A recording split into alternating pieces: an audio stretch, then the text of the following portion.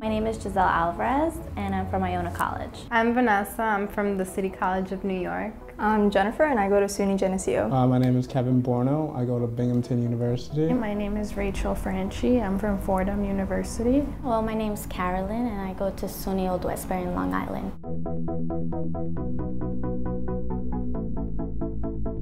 In the academic program, you really get to understand how the eye works and like eye anatomy. You actually go over real topics in a classroom setting and the professors that teach the students here teach those courses. I've been in the classroom learning lectures from multiple ODs and students. The eye reveals a lot about the person's anatomy. So uh, one of the professors was talking about how you could tell if a patient has diabetes through their eye because it's seen in a different way than a, right, than a normal eye.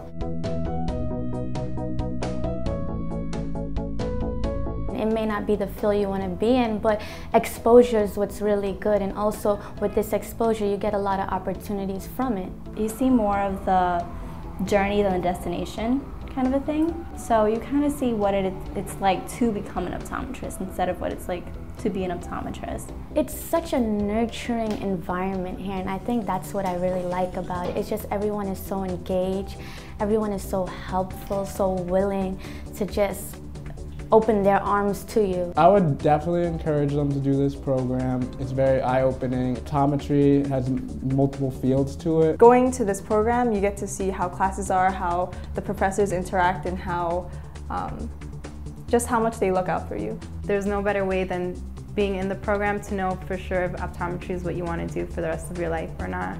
There are so many things that you can do in a healthcare profession and without testing everything, you will never know. And this program really puts you into an environment where you get to take a class, you get to observe them, so you get to see everything that they do.